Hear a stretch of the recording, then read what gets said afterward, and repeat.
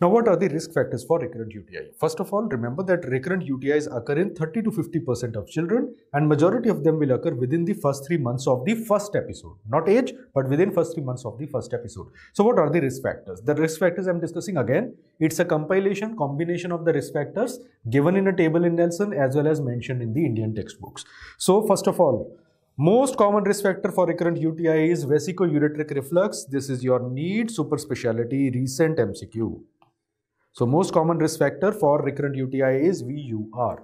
Then females are risk factor for UTI and so recurrent UTIs will be more common in females. They are common in age below 6 months, obstructive uropathy or atypical disorders like labial adhesions in males.